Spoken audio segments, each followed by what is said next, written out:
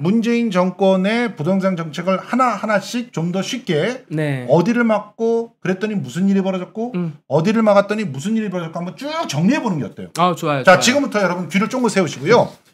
지금 아주 속성 특강입니다. 부동산 대책 속성 특강. 어, 여러분들이 어디 가서 야 부동산 대책을 그따위로 해가지고 이렇게 됐지라고 얘기했을 때 음. 뭘 모르면 가만히나 있어 이 쉐리들아. 자 설명해 줄게. 이러면서 네. 설명해 드릴 수 있게. 자 우선 네. 어, 문재인 대통령의 부동산 정책이 본격적으로 시작된 게 언제부터죠? 2017년 8월 2017 년? 8월부터 8월. 8월 6월에 첫 대책이 나오긴 했는데 그때는 이제 어 간 본 거죠. 그래서 이제부터 시작할 거다라고 이제 말을 하고 경고를 주고 그렇죠. 그렇죠. 617, 2017, 619, 619, 619 대책이 처음이고 82부터 센 대책들이 조금씩 나오기 시작하는데 네. 근데 이거부터 우선은 설명을 드려야 될 것 같아요. 이게 정부 정책으로 부동산 집값을 잡는 정책은 굉장히 많아요. 사실은요. 음. 자, 어, 극단적인 예를 하나 들어볼게요. 한번. 네. 그래서 사람들이 집을 여러 개 못 사게 그냥 만들면 돼요. 그냥 임대 차익에 대해서 임대 소득 차익에 대해서 100% 환수해 버리면 돼요. 정산해 가지고. 사실은 이재명 지사가 네. 그런 카드를 슬쩍 꺼내 들었죠. 근데 거기서는 뭐라고 얘기했냐면 불로소득의 100, 100% 환수라고 네. 얘기를 했어요. 네. 그러니까 불로소득에 해당한다라고 하는 것, 급, 급격히 집값이 올랐을 때 그거를 갖다 환수하겠다라고 하는 거지. 네. 자연스럽게 집값이 어쩔 수 없이 오르는 걸 갖다 다 환수하겠다는 얘기는 아니죠. 아, 그러니까 제가 말씀드리는 건 극단적인 거예요. 저 그냥 다 환수하는 방법도 있다. 음. 그러니까 정책으로 제도를 설계한다면 이런 제도도 쓸 수 있어요. 쓸 수는 있죠. 그렇죠. 부동산에 대한 그 매매 차익을 100% 환수하는 제도를 설계하면은 사람들이 200채, 300채씩 부동산을 가질 집을 가질 유인이 사라져 버린단 그렇죠. 말이에요. 이런 집값 잡아요. 그럼요. 근데 이 정책을 펼치잖아요. 난리가 날 거 아닙니까? 난리가 나죠. 난리가 난리가 나죠. 나죠. 정권이 교체가 되겠죠. 그러니까 네. 이거 소금이라고 비유를 하면은요. 네. 집값을 잡을 수 있어요. 소금 한 번에 팡 치면 돼요. 네. 근데 그렇게 하면은 국민들이 바라질 않아요. 부작용도 너무 심해요. 그렇죠. 여기서부터는 정무적 판단의 영역인 거예요. 그럼 이 소금을 한 번에 칠 수가 없으니까 국민들이 싫어하니까 예. 그럼 집값은 잡긴 잡아야 되겠으니 왜냐하면 그것이 공공복리에 부합함으로 그렇죠. 네, 잡아야 되니까 소금을 어떻게 쳐야지를 고민하는 게 정치의 영역이에요. 음. 그래서 이 소금을 가지고 나눠서 치는 거죠. 이때 한번 좀 쳐보고 아 국민들이 어, 짜다고 너무 안 하네. 그럼 조금 더 쳐도 되겠네. 하면서 이렇게 쳐가면서 이렇게 올 수밖에 없는 게 정책 이반자의 역할이에요. 좀 이거를 이해하셨으면 좋겠고요. 그러니까 네. 이 부분에 대해서 굳이 얘기를 한 건 뭐냐면 문재인 정부의 부동산 정책에서 음. 어, 까는 그런 음. 주요 논리가 첫째 집값 잡는 방법은 없다. 근데 공급은 안 늘리고 엉뚱한 짓만 한다. 세금 갖고 잡으려고 한다. 이게 첫 번째고 네. 두 번째가 너무 많이 됐다. 어, 쎄, 쎄, 그 한 번 쏠려면 그럼 센 걸 한 번에 쓰든가 그러지. 이건 또 주로 진보 쪽에서 많이 얘기하죠. 음. 네. 그러니까 첫 번째 비판은 보수 쪽에서 얘기하는 비판이고요. 맞아요. 두 번째 비판. 야, 한 번에 할 때 확 잡아버리면 되지. 뭘 찔끔찔끔하니까 그냥 개도 그럭도 다 놓치는 거 아니야. 이건 진보 쪽에서 하는 그 얘기인데 진보 쪽에서는 자기네들이 그럼 정권 잡으면 그렇게 할 수 있나? 정의당에서 정권 잡으면 그렇게 할 수 있을 것 같아요? 못해요, 못해요. 2차 가해를 막겠다는 짓은 잘하겠지. 그렇지만 부동산에 대해서 그, 그 정도의 그 공부도 안 해가지고는 빙의를 해봐야 돼요. 국가를 운영한다고 생각을 해보자고요. 이제 국가 운영을 하는데 그렇게 해서 꽝 했다고 쳐요. 국민들이 다 반대하는데 그걸 밀어붙였어요. 결국은 그렇게 되면 어떻게 되겠어요? 음. 탄핵되죠. 그렇죠. 그 정권 바뀌고 다음 정권에서 바로 그거 해체되는 거예요. 예. 우선 박근혜 정부가 그 펼쳤었던 정책을 문재인 정부가 그대로 받은 거잖아요. 그러니까 받았을 때 부동산, 그러니까 집값을 안정시키기 위한 어떤 규제 같은 것들이 그냥 없었어요. 다 없앴다고. 그 말고도 없었어요, 없앤 게 너무 많아. 어? 예를 들어서 분양가 공개 이런 것도 없앴어요. 아무것도 이명박은 그래도 분양가를 공개했다고. 근데 박근혜 그런 거 없앴어. 다 없앴어. 그러니까 분양가 상한제 없앴어. 심, 심지어 초과 이익 환수 같은 경우도 14년부터 17년까지 뭐 허가받는 거는 전부 없애버렸어. 그러니까 자 보세요 여러분 정부의 빙의를 해야 돼요 이게 진짜 이게 얼마나 골치 아픈지 알아야 돼요 자 정부가 드디어 우리가 촛불 시민들이 촛불 정부를 만들었어요 만들어 가지고서 자 이제 한번 어, 인승계 받아봅시다 박근혜 정부를 만들어 가지고 딱 받았는데 목미 뭐 아무것도 없는 거예요 아무것도 없어. 그리고 다 풀에 쳐놓은 거예요 투기 천국을 그- 만들어 놓은 예. 거야. 그럼 이거를 이제 수습을 해야 되는데 상반기에는 이거 수습하느라 정신이 없었어요 이거 실제로 8월 달에 내놓은 정책 중에서 하나가 이제 부동산 상법이라고 불리는 2014년 12월 29일에 통과시킨 법 중에서 마지막 아무리 조합원이라도. 한 채 이상 분양을 못 받게 했죠. 네. 그거 하나 만들어 놓은 거예요. 문재인 정부의 첫 대책부터 지금까지를 시계열에 따라서 쭉 이제 정리를 하는 거예요. 큰 틀을 네. 말씀을 드리면은 예. 여러분들 총선 승리 전에 문재인 정부의 부동산 대책과 총선 승리 후에 문재인 정부의 대책이 완전히 달라요. 음. 그러니까 총선 정리 어, 총선 승리 전에는요. 이게 법률 개정 사항들을 통과를 시킬 수가 없는 거예요. 그쪽 당들이 자꾸 발목을 잡으니까. 음. 그리고 진보 진영에서 저 답답한 게 종부세를 올려야 된다, 그러니까 보유세를 올려야 된다, 꽝 올려라라고 막 말하잖아요. 소리 네. 치면서 호통치잖아요. 올리려고 했어요. 근데 통과가 안 되는 걸 어떻게 해요? 국회에서 통과가 안 되는 거를 발목이 잡혀가지고. 미통당이 자유한국당 시절에 예. 겉으로는 솔직히 뭐 패스트 트랙이니 이런 걸로 막는 것처럼 보였지만 국회를 아예 들어오지 않으면서 결국 부동산 관련된 법들도 전부 폐기되도록 만들었다. 네, 이걸 할 수가 없는 거예요. 그래서 정부에서도 그럼 한번 국회를 한번 통과시켜 보려고 종부세를 0. 몇 퍼센트 포인트를 한번 올려 보려고 2018년에 시도를 했어요. 그 정도는 받아주겠지 하고 예, 그것도 안 받아줘요. 그래가지고 주호영이 그걸 받겠어 주호영이?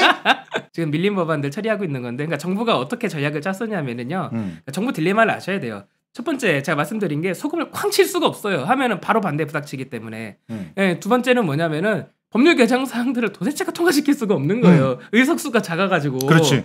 그러니까 할 수 있는 거 법률 개정 사항들은 최선을 다하되 안 되면은 뭐 걔들 때문에 안 되면은 뭐 맨날 싸우다 보면 안 되면 어쩔 수 없고 정부는 행정이니까 음. 행정으로 할 수 있는 것들 대통령령을 바꾼다거나 그렇죠. 뭐 규칙을 바꾸거나 이걸 다 해보자. 할 수 있는 걸 다 해보자가 그전 전략이었어요. 맞아요. 부동산 대책 중에 갑은 집값을 잡는 대책 중에 즉각적으로 할 수 있는 것 중에 다 갑은 대출을 잡는 거예요. 그렇죠. 왜 그러냐면은 여러분들 주식 투자하시는 분들도 계실 텐데 주식 투자 시장은 5천 원짜리 주식, 뭐 만 원짜리 주식, 뭐 이런 주식도 있어가지고서요 레버리지 즉 빚을 땡기지 않고서도 얼마든지 투자 시장에 뛰어들 수가 있어요. 예. 근데 부동산 투자 시장은요 이게 뭐 수억, 수천억, 수백억 하기 때문에 뭐 작게는 뭐 수천만 원 하고 이게 레버리지가 없으면 보통 빚을 땡기지 않으면 못 들어와요. 그러니까 그렇죠. 이 투기 수요를 막으려면은 빚을 잡는 게 갑인데 그래서 문재인 정부가 제일 처음에 했었던 행정력으로 할 수 있는 게 대출을 주기 시작한 거예요. 그렇죠. 자 이제 다시 돌아와서 자 2017년이에요. 정부를 넘겨받았어요. 자 이제 대출 한번 규제를 봐볼까? 봤어요. 박근혜 정부 시절에 대출 규제 딱 하나 있어요. 그냥 음. 전국 공통이에요. 그냥 전국 공통 70% 음. 70% 집값 대비 LTV라고 하거든요. 그렇죠. 집값 대비 대출 받을 수 있는 거 70% 전국 이렇게 하겠다. 그것도 원래 빼버리려고 그랬는데 그거를 진짜 당시에 새정치 민주연합이 목숨 걸고 막은 거야. 그러니까요. 어? 그 DTI를 갖다가 빼버렸으면은 지금 난리 났어요. 리먼 브라더스 사태 이런 것들이 그냥 그대로 치고 들어올 수 있는 거예요. 맞아요. 전, 전 지역에 대해서 70%였던 거를요. 조정 대상 지역이라는 곳에 대해서 뭐 흔히 아는 뭐 규제 지역이에요. 60%. 규제 지역이라는 거를 지정하고 네, 60% 낮추겠다. 10% 포인트 낮추겠다라고 음. 해 놓고 이때 정부 기조가 뭐냐면은 서민 실수요자 그러니까 무주택자들에 대해서는 70% 그대로 유지해 주겠다. 이게 음. 첫 대책이었어요. 예. 그다음 대책이 파리 대책이었어요. 그렇죠. 파리 대책에서는 이걸 40%로 내려요. 규제 맞아요. 지역에 대해서. 그러니까 이렇게 기억하시는 분들 많아요.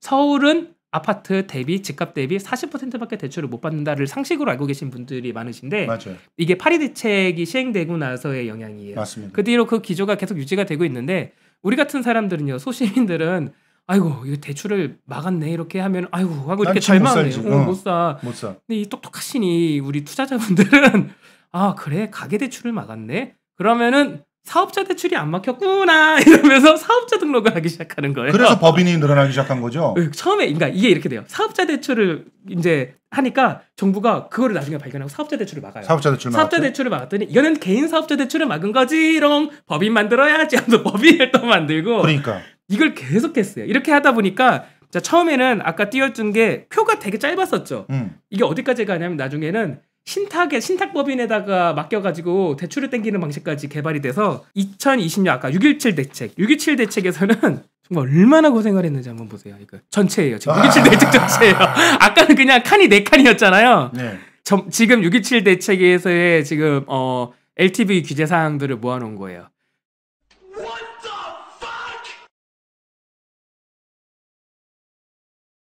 와우.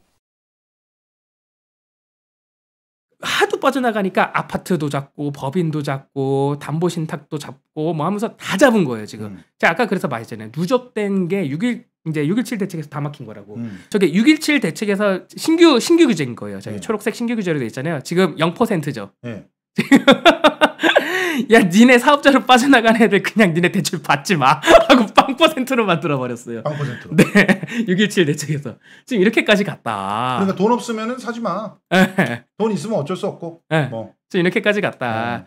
그리고 또 그러니까 이걸 가지고 또 돈 있는 사람들만 집사라고 하는 대책 아니냐 아니, 이런 식으로 얘기, 얘기하는 사람들 있잖아요. 전혀 그렇지 않습니다. 우선은 돈 있는 사람들의 현금 부자들이 집 사는 거를 막을 수 있는 방안은 어, 국민들이 다 들고 일어날 수 있는 방안 말고는 거의 없어요. 네. 한 사람당 집을 한 채 소유해라라는 식으로 막는 수밖에 없기 때문에 법으로 이렇게 그렇죠. 예. 초두에 그 정무적 판단이 무엇인지에 대해서 개념을 이제 설명을 드린 거예요. 정부도 네. 지금 진짜 골치가 아픈 거예요, 지금. 이 6.17 대책과 처음에 그 총선 이전의 대책들의 핵심적인 차이는 네. 지금은 이제 법으로 규제를 할 수 있는 힘이 생겼으니까 맞아요. 그래서 법으로 누릴 수 있는 모든 것들을 한꺼번에 좀 진행해 보자. 네. 그러면서 6.17 그다음에 70 이렇게 내놨다. 네, 맞아요. 이렇게 보시는 거군요. 총선 승리 이전과 이후의 시장 반응도 완전히 달라요.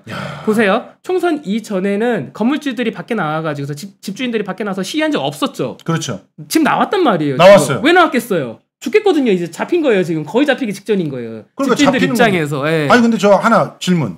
아니 이렇게 잡힌 그런 상황인데 음, 음. 왜 임대사업자들에 대한 세제 혜택을 음. 지금 발표한 대로 해버리면 될 텐데 이미 임대업자가 돼 있는 사람들에게는 자기네들 기간이 끝날 때까지 보장시켜 준다. 맞습니다. 이런 식으로 왜 했냐는 거예요. 그러면 당장 지금 안 팔 거 아닙니까? 지금 네. 이제 2년 차인데요, 저? 나 2년 차니까 앞으로 2년 남을 동안은 세제 혜택이 없어야 되겠네요. 그러면서 2년 충분히 채우고 그리고. 팔 거 아니에요. 네, 맞아요. 지금 그러니까 어떻게 됐냐면 그, 그 소금 예를 제가 들어드린 게 뭐냐면은 음. 지금 우선 법인은 다 잡았어요. 법인은 올해 말까지, 그러니까 법인 투자자라고 하더라도 다 이렇게 똑똑하신 게 아니에요. 이게 배워가지고 오신 분도 있기 때문에 현명한 법인 투자자라 한다면은, 그러니까 좀 머리 좋은 올해 말까지는 털고 나가는 게 이익을 가장 많이 챙기는 거기 때문에 아하. 우선은 올해 말까지 법인 물량이 얼마 나오는지를 봐야 되고, 그러니까 정부 입장에서는 뭐가 무섭냐면은요. 정부가 어, 2월 달에 보도 자료를 하나 냈어요. 네. 보도 자료를 하나 냈는데 아파트, 그러니까 아파트에 대해서 어, 혜택을 다 폐지하겠습니다. 예, 네. 대신 그것을 소급해가지고 폐지하진 않겠습니다. 네. 이 의무 임대 기간이 끝나면 그때 이제 자동으로 소멸되게 하겠습니다라고 음. 해가지고서 이제 어, 소위 진보 진영 내에서 굉장히 어, 어, 말을 많이 들었죠. 음. 어, 소위 꾸사리라고 하나요? 이렇게 음. 말을 들었는데 어떤 고민이 있냐면은요. 폭락 가능성. 어, 지금 왜 그러냐면은 정부가 보도 자료를 잘못 냈어요. 2월 달에 보도 자료를 내면서 이런 식의 보도 자료를 냈어요. 지금 아파트 그가 중심이 돼 가지고 오르고 있는 거잖아요.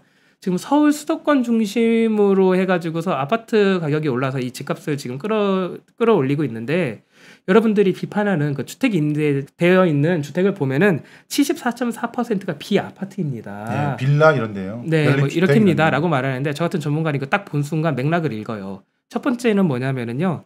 그 비아파트 그러니까 다가구 주택이라고 하잖아요. 집주인은 하나인데 여러 명 음. 살수 있는 데 있잖아요. 이거는요 호수가 등록될 때 그게 구분 거처가 다 등록돼요. 음. 그래서 퍼센테이지가 좀 이렇게 뻥튀기가 될 수 있어요. 음. 퍼센트가. 근데 그건 차치하고서라도 다른 걸 보면 뭐냐면은요 퍼센테이지를 공개하잖아요. 역산을 할 수가 있어요. 음. 74.4%가 비아파트라고 하잖아요. 예. 그럼 우리 이렇게 생각할 수 있어요. 25.6 25.6%가 아파트. 아파트네? 예. 그럼 몇 채지 이거? 바로 역산해 봤거든요. 39만 호예요 아파트가. 39만 호가 이게 거의 다 수사, 수도권에 몰려 있어요. 수도권에 그러니까 바꿔 말하면은요 39만 호가 수도권에 임대로 몰려 있으니까 이걸 가지고 아파트가 사실은 39만 호를 누군가가 뒤에서 갖고 있는 거예요. 갖고 있는 거잖아요. 예, 임대사업자들. 그러니까 임대사업자 혜택을 소급 적용해가지고 폐지를 하게 되잖아요. 지금 예. 진보 진영 내에서 그거 해라라고 그럼 말하는 39만 호가 동시에 시장에 나와버릴 동시에 수 있다. 시장에 나와요. 그것도 수도권에서 터져 나와요. 그럼. 폭락하는 거잖아. 지금 그러니까 이게 정부가 마지막 카드로 갖고 있는 거예요. 지금 마지막 자, 카드로 갖고 있기 여러분 때문에 여기서 여러분들의 이해를 돕기 위해서 하나만 말씀드릴게요. 자 법인이 12월 말까지 물건을 던져야 돼요. 그래서 12월 말까지 물건을 던질 때 사실은 집을 사는 게 아주 딱 맞는 집을 구매할 수 있는 적기라고 생각하잖아요 사람들이. 음, 근데 그때 집을 안 삽니다. 왜 그런지 아세요? 집값 떨어질 거라고 생각하니까. 음. 그러니까 집값이 어떻게 되는 줄 아세요? 계속 더 떨어져요. 이게 계속 그 악순환을 일으키게 되면은 폭락이라는 사태가 12월 정도부터 시작해가지고 한 4월, 5월 되면 폭락이 떨어지는 거야. 그러니까 음. 이런 것들은 또 막아줘야 되는 거죠. 그러니까. 국민들의 자산이 갑자기 확 떨어지게 되면은 그러면 큰일 나는 거잖아요. 이게 자산은 줄어들어도 빚은 안 줄어들어요. 그래서. 그래서 그게 굉장히 문제인 거예요. 그래서 굉장히 골치가 아픈 상황인 거예요. 지금 이게 음. 그래서 한 번에 할 수도 있어요. 한 번에 할 수 있는데 한 번에 했다가 올 부작용 같은 것들이 있기 때문에 조금씩 음. 나눠서 가고 있는 거고 어, 710이랑 619 대책이 굉장히 쓰, 센 대책이었기 때문에 사실은 이게 앞으로 시장에 어떻게 반응을 일으키는지에 대한 데이터가 좀 누적돼야 돼요. 모니터링을 좀 해야 되겠네요. 네, 해야 되는데 지금 아직 나온 게 그렇게 없기 때문에 제가 첫 데이터를 갖고 나온 거고 이게 이제 한 7, 8월 되면은 대충 이제 보일 거예요 모습이 7, 8월, 9월까지. 그렇게까지 안 잡히면은 정부가 이제 예, 제가 말씀드린 예, 이런 카드들을 꺼내겠죠.